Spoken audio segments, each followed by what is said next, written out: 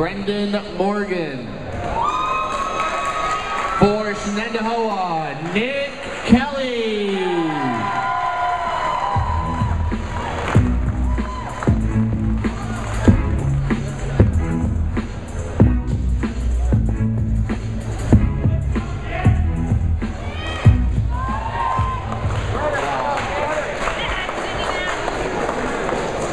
Nick Kelly will be receiving a forfeit.